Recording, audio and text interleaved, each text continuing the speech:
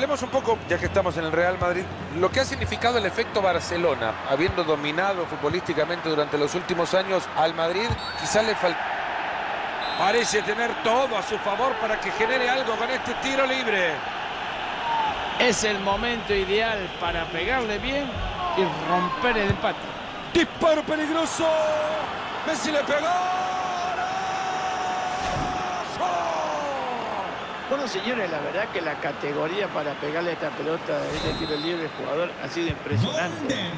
Solamente pensó en que pasara la barrera y ya levantó los brazos porque fue un lindo gol.